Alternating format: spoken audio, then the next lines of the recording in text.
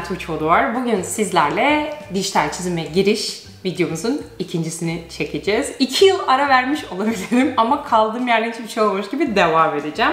O videoyu izlemediyseniz şiddetle tavsiye ediyorum. Videom izlensin diye değil, bu videoyu anlamanız için, devam niteliğinde olacağı için bir önceki videoyu izlemeniz sizin için daha iyi olacaktır.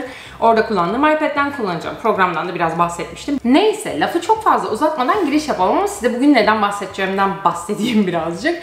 Çoğunuz referans fotoğraf nasıl kullanılır, fotoğraf içe nasıl aktarılır, üstten nasıl kopya çekilir gibi sorular sormuşsunuz.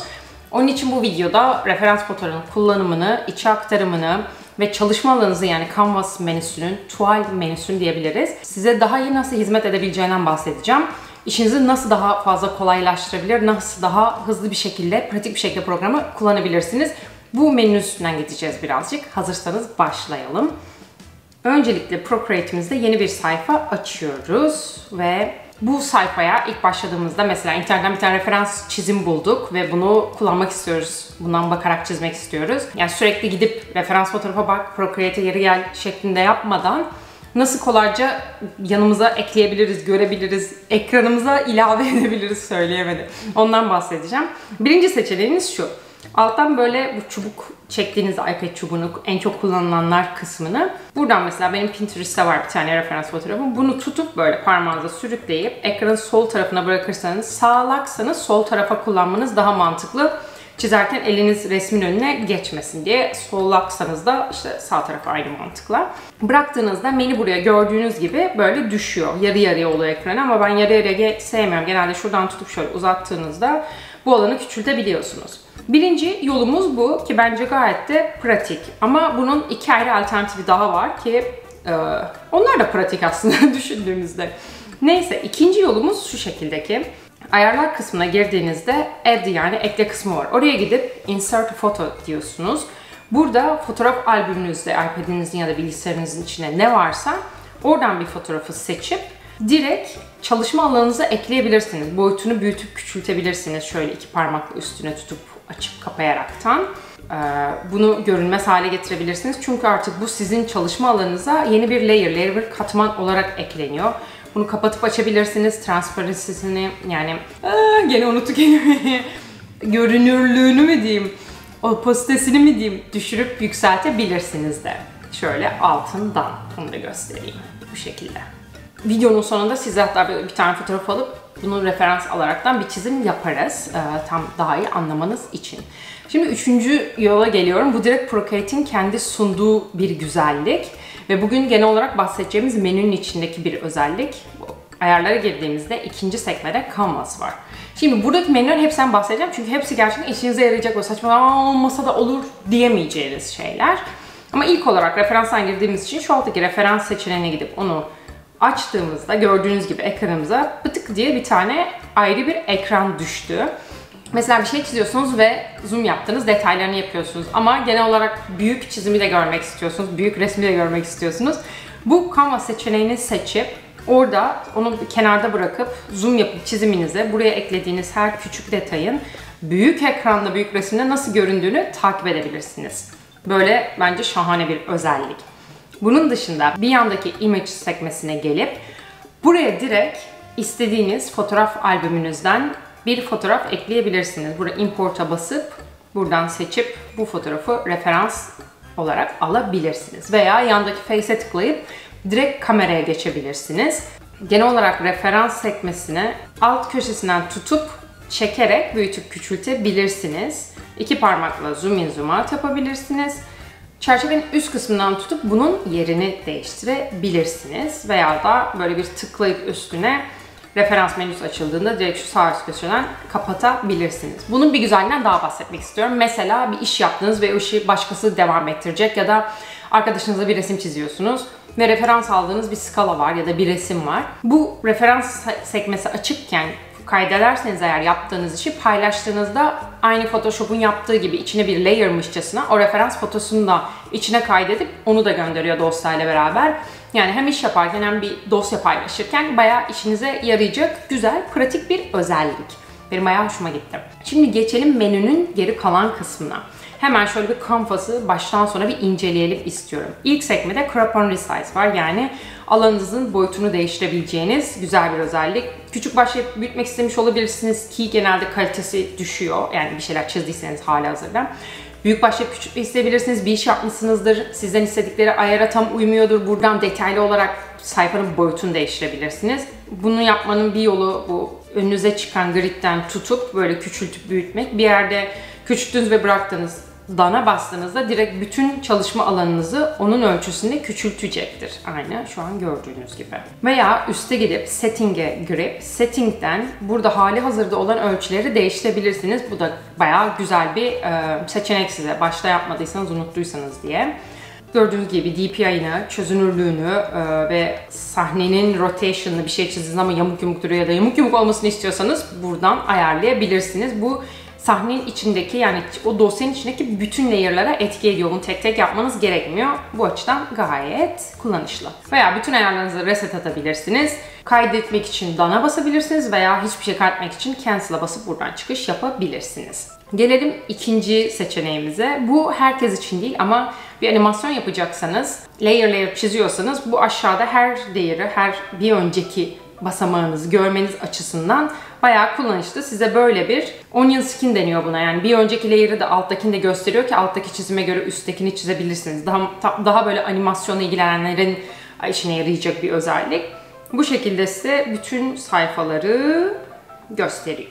Bunun altındaki de Page Assist. Bu herkesin işine yarayacak. Burada da bütün layer'larınızın sağdan böyle tek tek layer'ları açıp katmanları açıp kontrol etmemek adına Altta böyle size bir onun küçük bir tablosunu açıyor ki oradan tüm layer'ınızı görebilin. Mesela hani hızlı çalışıyorsunuz. Gir tek tek layer ara yapmayacaksınız. Bazen 30-40 layer'ınız olabilir. Bu aşağıdan direkt taban rengi hangisi, çizim hangisi, referans hangisi diye tık tık tık rahatça bulabilirsiniz. Böyle bir hızla yani işinizi hızlandıracak güzel bir özellik aslında. Bir altında da çok kişinin işine yarayacağını düşündüğüm bir özellik var. Drawing Guide. Düzgün, simetrik bir şey çizmek istiyorsanız, hani çok yamuk yumuk olmasın, hafif bir işte referansım olsun altta istiyorsanız aynı bir kareli defteriniz gibi buna tıkladığınızda alta böyle bir kareli bir taban açıyor. Bu çiziminizin üstüne etki etmiyor bu arada. Kaydettiğinizde çiziminizi yani bu sekmeyi kapattığınızda direkt o çizgiler kayboluyor. Altındaki de Edit Drawing Guides'a girip buradan ilk olarak bu üstteki renk skalasına tutup sağa sola giderek Drawing Guides'ın yani o kare çizgilerinin renklerini değiştirebilirsiniz istediğiniz şekilde. Altta da gördüğünüz gibi birçok özellik var. Bunları kendiniz kurcalayın ama şu çok hafif bir bilgi vereyim. Opacite'den bunun kalınlığını, görünürlüğünü ve ne kadar görünmesini çizerken çok gözüme batmasın diyorsanız yükseltip düşürebilirsiniz. Thickness'tan bu çizgilerin kalınlığı ve inceliğini ayarlayabilirsiniz. Grid size'dan da bu ne kadar çok kutum olsun, böyle çok az bir karem olsun yeter diyorsanız ya da bir sürü olsun, daha detaylı çalışacağım, minik minik referansım daha yoğun olsun diyorsanız buradan çoğaltıp alçıtabilirsiniz. Üstte de e, şu anki kullandığımız iki boyutlu yani bir düz yüzeyin üstünde kutu kutu çalıştığınızı düşünerek açılmış. Yanındaki isometrikte böyle e, yani perspektifi veya e, logo tasarımı gibi çizimler yapacaksanız biraz böyle endüstriyel bir şeyler çizecekseniz bu gridi kullanmanız daha mantıklı. Bir yanında aslında direkt perspektif var. Perspektif gridi ile çok güzel bir şey yapabilirsiniz. Mesela bir bina falan çizeceksiniz. Perspektif genelde herkesin başına birazcık beladır başlarda. Buna geldiniz mesela bir kaçış noktanız perspektiften isterseniz başka videoda bahsedeyim. Çünkü şu an her şeyini anlatırsam çok de, yoğunlaşıp kopacağım videodan. Ama mesela kaçış noktanız tam ortada olsun. Bir şehrin tam bir yolun ortasına durmuş bakıyorsunuz bütün binalar şu şekilde tam önünüzde küçülüyor. Yani kaçış noktası dediğim budur. Oraya tıkladığınızda bütün referans çizgileriniz, o grid çizgileriniz oraya doğru yoğunlaşır. Bu da size düzgün perspektifte bir şey çizmeniz için yardımcı olur. Bu orta noktayı tutup sağa sola taşıyıp, yanlara geçirip bunu manipüle edip değiştirebilirsiniz de. Veya çift kaçışlı bir perspektifiniz varsa yani bir binaya köşeden bakıyorsunuz, bir yol burada küçülüyor, diğer yol burada küçülüyor yani basit bir şekilde böyle anlatabilirim. Böyle gidip yanına bir tane daha tıklama yapıp kaçış noktalarını, grid çizgilerini ikiye çıkartabilirsiniz. Şöyle gördüğünüz üzere. Bir yanında da simetrik çalışmanıza yardım edecek daha böyle manuel olarak ayarlayabileceğiniz bir çizgi var. Yani bunu istediğiniz gibi baz alabilirsiniz. Bana o kadar çok grid lazım değil, ben biraz kendiminkini kendim koyayım derseniz bu simetri butonuna tıkladığınızda gördüğünüz gibi bir tane ekran geliyor Bu mavi olan noktadan tutup bunu sağa sola oynatabilirsiniz. Referans çizginizi ya da üsttekinden tutup böyle çevirip rotate edip yataylığına dikeyliğine de karar verebilirsiniz. Hemen geçiyoruz menünün kalan kısmına. Flip Horizontal var. Zaten bunun hakkında çok bir şey söylemeye gerek yok. Ee, bütün layer'larınızı, her şeyine tek tek uğraşmak yerine buna bastığınızda bu şekilde yatay olarak yana çevirir, döndürür ya da dikey olarak yapmak için altındaki Flip Vertical'a tıklayabilirsiniz. En altta da Canvas Information'da genel olarak bu işi profesyonel anlamda yapıyorsanız tüm bilgilerini net bir şekilde paylaşacağınız işte bu iş ne zaman başlamış yani bu tuval ne zaman açılmış, içine ne kadar süre çalışılmış, boyutu nedir, kaç layer vardır vesaire vesaire gibi baya hani pro çalışırken işvereninizle ya da iş arkadaşlarınızla paylaşabileceğiniz bilgilere ulaşabileceğiniz bir alan var. Bunu gelip kendiniz kurcalayabilirsiniz. Herkesin çok işine yaramayacağı için girip detaylı anlatmıyorum bu kısmı. Artık bu noktada aslında Canvas menüsünün tamamen geçmiş olduk. Birkaç böyle minik detayları falan yani bayağı içine girip kurcalayarak öğrenebileceğiniz kısımları anlatmadım. Onlar gerçekten yani büyük, küçült, döndür, çevir kısmındaki herkesin kendi ihtiyaç dahilinde keşfetmesi gereken alanlar olduğunu düşünüyorum. Şimdi gelin en başta söylediğim gibi bir tane referans fotoğrafı içeri atıp üstünden nasıl çizebiliriz ya da yanı alıp bunu nasıl referans olarak kullanabiliriz böyle birebir göstermek adına bir tane çizim yapalım. İlk olarak bu çizimi içeri nasıl atıp üstünden geçeriz o kısmı göstereyim. Bu şekilde Settings'ten Add Insert Photo yaparaktan çizim yapacağınız fotoğrafı içeri alıyorsunuz. Daha sonra bunun opacitesini düşürüyorsunuz. Birazcık daha rahat üstüne geçelim diye. Üstüne bir tane yeni layer açıyorsunuz artıya basarak. Buradan istediğiniz bir kalemi seçip başlıyorsunuz üstünden şöyle çizmeye. Ben bunu genelde kullanmıyorum çünkü bu direkt fotoğrafın üstünden yani kopya çekiyorsunuz direkt birebir geçiriyorsunuz kendinizden bir şey katman. Ben genel olarak referans fotoğrafını yana koyup ondan bakaraktan çizmeyi tercih ediyorum. Böylece isteseniz de istemeseniz de daha değişmiş oluyor çizdiğiniz şey zaten. Ama hani bir şeyi birebir çizmek istiyorum ya da kendi fotoğrafım var ben onu çizime dönüştürmek istiyorum diyorsanız böyle bir teknik kullanmanız tabii ki de çok daha pratik. Bu detaylandırılabilir. Yani ben size sadece genel mantığını göstereyim diye. Daha sonra buradan fotoğrafın layer'ını kapatabilir. Sadece çizgilerinizin kaldığı bir layer'la devam edip bunu renklendirebilirsiniz ya da detaylandırabilirsiniz. En son istiyorsanız bu referans fotosunu şöyle sola kaydırıp silebilirsiniz de ekranınızdan. Benim genel olarak kullandığımda biraz önce size bahsettiğim Canvas'taki referanstan direkt fotoğraflarımdan içe aktardığım bu fotoğrafı alıp yana koymak. Daha sonra bunun üstünden çizmeye başlıyorum ve çizerken her zaman Derwent kalemini kullanıyorum. Bu Procreate'in içine kendisiyle gelen bir kalem. Normalde ben zaten kara kalem yaparken Derwent kullandığım için bana bayağı kullanışlı e, ve rahat geliyor yani çizerken. Elim rahat rahat oluyor. Etkisi de gayet hoşuma gidiyor. Bu kara kalem etkisini gerçekten verebildiği kadar veriyor diye düşünüyorum. Bakın şimdi buradan aynı birebir ne görüyorsam fıçı fıçı fıçı fıçı genel olarak hatlarını atmamı şöyle öncelikle zaten zoom out'ta genel böyle nerede ne var, nerede ne başlıyor, nereye ne gelecek kısmını oturtuyorum.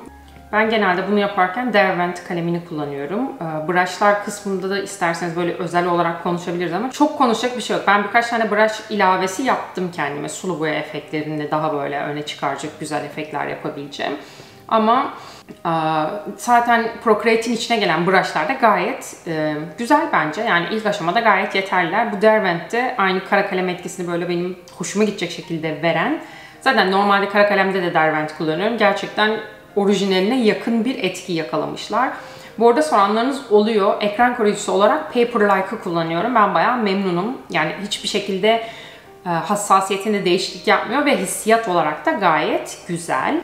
Böyle genel olarak bir skeçini attığımda daha önceki videoda da aslında benzerini yapmıştık. Üstüne bir tane daha layer açıp buradan renklendirmesini, işte daha detaylı çizimini, ne bileyim işte ten rengi bir yere, dudak rengi bir yere, saç rengi bir yere diye isterseniz 15 tane layer alıp her bölgesini ayrı bir layer üstüne boyayabilirsiniz ki daha sonra üstüne değişiklik yapmak daha kolay olsun diye. Ben şimdi yeni bir layer açıp öncelikle bunun ten rengini belirliyorum. Ten rengi belirlerken de size hemen e, önemli birkaç kısa yoldan bahsetmek istiyorum. Mesela böyle aynı renkte olacak tüm alanı şöyle çiziyorum. Hiçbir şekilde kenarlarda açıklık kalmaması gerekiyor. Böyle bunu bir çiftlik kuruyormuşsunuz ve her tarafını telle çevirmişsiniz gibi düşün. Daha sonra renk ikonuna gidip onu tutup sürükleyip bırakırsam o çevirdiğim alanın içini o renkle doldurabilirim. Şimdi mesela bunun üstüne başka bir layer daha açıp Saç için seçtiğim bir renkle şu şekilde bunun da çizgilerini belirleyip içini doldurabilirim. Bu arada isterseniz mesela referans fotoğrafı lazım değilse ya da referans fotoğrafı ilave olarak ekranınıza bir tane mesela bir doğa manzarası çektiğiniz bir fotoğraf ya da gördüğünüz bir çizim, renkleri hoşunuza giden, renk tonları hoşunuza giden bir çizimi aktarıp referans olarak kullanabilirsiniz. Yani az çok renkleriniz nasıl olacak, birbiriyle uyumu nasıl bunu tam oturtamıyorsanız böyle bir referans fotoğraf çizim bir renkli bir şey kullanmak her zaman yardımcı olacaktır size. Bundan sonra mesela başka bir layer üstünde yüzdeki kızarıklıklar, işte dudaktaki kızarıklıklar gibi bölgeleri belirliyorum. Sonra başka bir layer'ın üstünde yüzdeki genel gölgeleri, ışıkları daha canlı olacak yerleri belirliyorum. Başka bir layer'ın üstünde de koyu olacak yerleri. Yani bunun sırası önemli değil. Önce birini sonra birini de yapabilirsiniz. Koyu olacak yerleri belirliyorum. Bunlar genelde zaten çok kaba taslak atıyorum. Çok detaya girmiyorum ben. İstiyorsanız zoom'un içine içine girip girip zoom'a kafa ataraktan detaylarını da yapabilirsiniz. Daha sonra mesela saç layer'ın üstüne ayrı bir tane layer açıp sadece ona özel bir gölge atıyorum. Bu layer için isterseniz ayrı bir video yapalım. 2 yıl olmaz merak etmeyin yani umarım olmaz. Ondan böyle biraz daha detaylı bahsedebiliriz. Ve daha sonra detaylar, çizimler. Ayrı bir layer'da ben her zaman başka böyle daha net bir kalemle tüm en siyahları, en belirgin noktaları belirginleştirmeyi, üstünden geçmeyi sevmişimdir.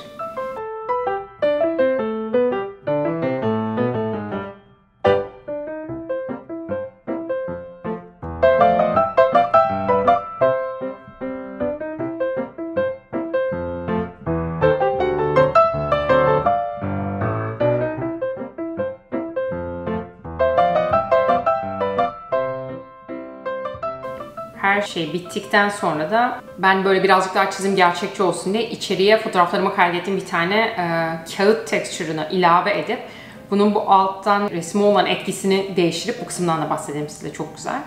E, bunu taban sanki kağıt bir şeyin üstünde çizilmiş gibi yapmayı seviyorum. En sonda yeni bir layer açıp sıcak renk olarak yani güneşten gelen renk olarak mesela turuncumsu sarımsı bir şey seçip onunla boyayıp gölgeden gelecek kısım olarak da mavi mor arası bir seçim yapıp bu taraflarını boyayıp şöyle bir genel bir ışık atıyorum çizimlerime. Benim etkisi hoşuma gittiğim için kullanıyorum. Hani bunu kullanmak zorunda değilsiniz. Direkt çizerken boyarken de ışığı kendiniz ekleyebilirsiniz manuel olarak. Artık bu noktada çalışmalarınızı nasıl daha kullanışlı hale getireceğinizi ve referans fotoğrafları nasıl rahatça kullanabileceğinizi anlattığım bu videonun sonuna gelmiş bulunuyorum. Umarım izlerken eğlenip eğlenirken öğrenmişsinizdir ve yardımcı olmuştur size. Başka bölümde, bir sonraki bölümde yakın zamanda geleceğini umduğum bir sonraki bölümde neden bahsetmemi istediğinizi belirtirseniz bu da bana yardımcı olur. Sizinle çok yakında görüşmek üzere. Hoşçakalın.